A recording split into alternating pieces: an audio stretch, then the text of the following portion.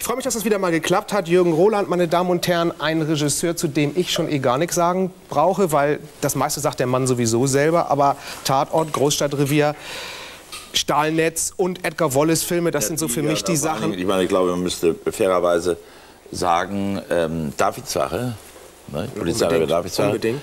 vier Schlüssel. Täter auf der Spur. Mhm. Also es gibt, ne, ich möchte nicht ähm, jetzt hier ähm, die ganzen Filme aufzählen, das ist äh, äh Nein, aber wir können natürlich über, aber, über einzelne äh, Geschichten Ich deswegen ganz gerne, weil sonst ist man ganz schnell, zum Beispiel auch heißt es, das ist der St. Pauli-Regisseur mhm. oder das ist der Edgar Wallace-Regisseur. Mhm. Also bei allem Respekt vor den Edgar Wallace-Filmen, die ja viele, viele Kollegen gedreht haben, äh, aber das ist nicht das, was meine...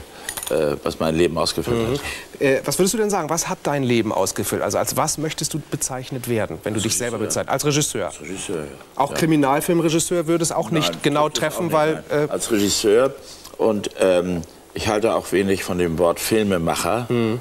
weil nach meiner Auffassung zum Filmemachen gehört immer ein Team. Mhm. Ich persönlich kann nur sagen, das ist meine sehr persönliche Erfahrung, ich hätte diese vielen Filme nicht drehen können, auch nicht, äh, und Gott sei es gedankt, diese Erfolge hätte haben können, wenn ich nicht so wirklich ähm, erstklassige Mitarbeiter gehabt hätte im sachlichen, fachlichen Bereich wie im menschlichen Bereich. Mhm. Ich denke an unsere Familiencrew beim Großstadtrevier, das ist ja schon keine Mannschaft mehr, das ist eine Familie. Mhm. Und so war es bei den anderen Filmen auch, mhm. selbst wenn man sich erst beim ersten Drehtag kennenlernte. Und ähm, äh, deshalb finde ich das Wort Regisseur angebrachter. Und ich bin ähm, sehr glücklich darüber, dass das auch scheinbar, wie das so aussieht, eine Berufsgruppe ähm, ist, die äh, bis ans Ende aller Tage äh, Gültigkeit hat. Also ganz ohne Regisseur geht es dann nicht, obwohl es manchmal heutzutage so aussieht. Ja, äh, ja, das ja, ist was anderes. Gesagt, Aber es ist in der Tat so, dass man halt merkt, wenn man sich einen Jürgen Roland-Film anguckt, man erkennt ihn doch, selbst als Zuschauer, wenn man nicht so hinter die Kulissen blickt, relativ schnell insofern, weil man äh, eigentlich merkt, der Mann setzt auf eine erlesene Besetzung. Mhm. Äh, du hast Namen entdeckt, groß gemacht oder wieder groß gemacht oder wiedergeholt oder ganz ja. neue Leute geholt und denen bist du dann auch treu. Ja, das bin ich, ja. Mhm. Das bin ich. Äh, und nicht nur den äh, Freunden vor der Kamera, sondern auch, wie ich schon andeutete, den hinter der Kamera. Mhm. Ähm, äh, anders geht solche Familienbindung auch nicht. Und was die Schauspieler anbelangt, bin ich natürlich schon ein bisschen stolz, das ist ein großes Wort. Ich bin glücklich darüber, dass es mir kommt wieder ein schreckliches Wort, vergönnt war, ähm, eine große Gruppe von Schauspielern äh, sozusagen von der Schauspielschule weg äh, in die erste Rolle zu führen. Und mit dieser Rolle hatten sie dann eben wirklich ihren Durchbruch. Ich will mal einen Namen sagen, der für viele steht, das ist Hannelore Elsner mhm. mit ihrem Stahlnetzdebüt da war sie 15 Jahre alt und spielte eine 15-jährige Mörderin und das hat jeden, Auf der es Fahrrad, gesehen hat, zusammen ja, ja. mit, mit, äh, mit Jan Hendricks. Jan Hendricks, ja. Und jeder, der es gesehen hat, wird sich daran erinnern, wie äh, bravourös da die junge Elstner schon agierte. Das war die erste Rolle von ihr? Das war die erste Rolle von ihr. Mhm. Äh, dann Monika Peitsch oder wie jetzt, äh, vor wenigen Tagen lief das Haus an der Stör mhm. mit dem unvergesslichen, äh, genialischen äh, Rudolf Platte. Mhm.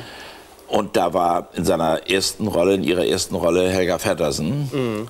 Dann war der Ernst Hilbig. Mhm der äh, Star des ähm, großen Komödiens ja. in Düsseldorf, von meinem Freund Kai Lorenz geleitet und der mich auf, äh, aufmerksam gemacht hat auf ihn. Da hat Ernst seine erste große Rolle gespielt. Ähm, es waren viele Schauspieler, die, äh, wie gesagt, da ihren ähm, Weg begonnen haben. Das war sowieso, also, also gemacht, Harry ja. Wüstenhagen war noch Harry drin, Mady Rahl, Rahl war noch drin, also unglaublich viele Leute in so kleinen Episodenrollen bzw. Kabinettstückchen, ja, kann man sagen. Man darf in dem Zusammenhang nicht vergessen, wir hatten Bücher, die äh, Wolfgang Menge geschrieben hat. Mhm. Und ähm, es gibt ja so ein schönes Wort in der Branche, von Fachleuten wird es selten gebraucht, aber es wird uns so angehängt, die besten Geschichten schreibt sowieso das Leben. Hm. Also ich persönlich habe immer die Meinung vertreten, die besten Geschichten schreibt Wolfgang Menge. ja, gut, wenn er das auf jeden Fall schreibt er die gerne besten Szenen. Ja. Und äh, das konnte man sprechen. Gut. Der Mann hat gerade sozusagen einen Tatort abgedreht, aber er war nicht in der Funktion als Regisseur, wenn ich das richtig verstanden richtig. habe, sondern als Überraschung ja. für Manfred Krug. Es war der letzte Tatort richtig. mit Manfred Krug. Ja, und das war die letzte Einstellung von Manfred. Ja. Ich hab, muss dazu sagen, ich habe mit Manfred Krug ja viele Tatorte gedreht mhm. und erinnere mich an den einen so gerne wie an den anderen, äh, wobei ich immer wieder einbeziehe, die äh, geradezu hm, äh, unvergleichliche äh, Bereitschaft von äh, Charlie äh, Brauer sich äh, immer wieder in dieses Team einzubinden. Und die beiden waren eben eigentlich nur als äh, Double so erfolgreich, mhm. konnten sie nur sein. Naja, und jetzt bei dem letzten Film, da hatte nun die Produktion und der äh, Produktionsleiter Larry Freisler, der ja berühmt ist für seine guten Einfälle, ja. der hatte diesen Einfall, von dem ich nicht ohne weiteres behaupten kann, dass er so gut war, aber es wird sich herausstellen, ähm, mich aufzufordern, als Gast in das Zimmer der beiden Kommissare zu treten, nachdem sie beide erklärt haben, ja, hören auf bei der Polizei. Mhm.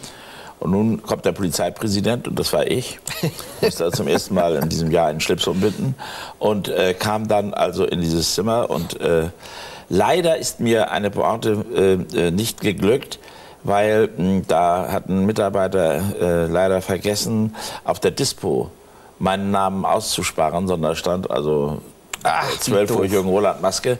Dadurch wusste äh, Manfred das natürlich. Ich wollte eigentlich, wenn die Tür aufging, sagen, Mensch, Manfred Kuch, dass ich das nochmal erleben darf, dich zu verabschieden, du Pfeife. Ne?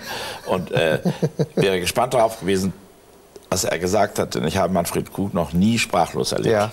Und wahrscheinlich in dem Fall auch nicht. Ne. Und jetzt haben wir es gemacht und es hat sehr viel Spaß gemacht. Und äh, ich bedauere das natürlich als Zuschauer sehr. Mhm.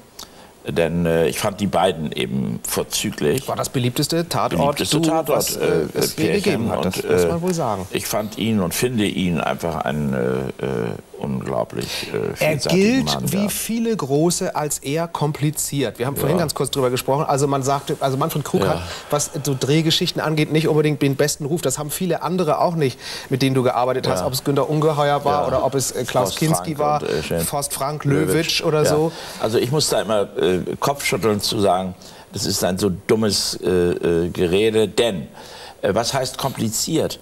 Dieses sind einfach Schauspieler, die um ihre eigene Professionalität wissen und ärgerlich sind, wenn sie mit Leuten äh, konfrontiert werden, vor der Kamera, hinter der Kamera, die ihren Job nicht können mhm. oder ihre Schularbeiten nicht gemacht mhm. haben. Und wenn man äh, sich mit ihnen auseinandersetzt, dann merkt man sehr schnell, mit welcher Ernsthaftigkeit die sogenannten Komplizierten dabei sind. Und dann haben sie sofort ganz schnell eine solche Verbindung, die hält und mhm. die mehr wert ist als dieses ähm, äh, Mensch, du bist toll, Everybody Darlings äh, äh, mhm. Geschwätz. Gut. Also ich habe mit diesen sogenannten anspruchsvollen Schauspielern die allerbesten Erfahrungen. Sonst hättest du nicht so viel mit denen immer gearbeitet. Hätte ich ja mit dir nicht gedreht. Ja. Was? Hätte ich ja mit dir auch nicht gedreht. ja, okay. Das lassen wir mal stehen. Da weiß ich ja gar nicht, was ich davon halten soll. Gucken wir mal rein. Also eine Frau, wie ihr sie beschreibt, ja, könnte sein. Heute früh. Ich meine, ich kenne eure Kollegin ja nicht. Was hat sie denn gekauft? Ja, wie ein Stapel Zeitungen, ziemlich wahllos. So, was fragt ihr denn für einen Scheiß? Ist sie mit dem Fahrrad gekommen oder zu Fuß? Nee, mit dem Auto. Aber jetzt frag mich nicht, welche Marke du. Also so genau habe ich da noch auch nicht hingeguckt. Ist was? Und es ist was, aber das werden Sie dann erst herausfinden, liebe Zuschauer. Also vielen Dank, Jürgen, für den kleinen Ausschnitt. Ja, das ist also in der Tat, äh, das war der Schauspieler Thorsten Lausch, müssen wir, glaube ich, äh, fairerweise Lieben sagen. Dank. Ne? Hollywood hat angerufen, es soll in Hamburg bleiben.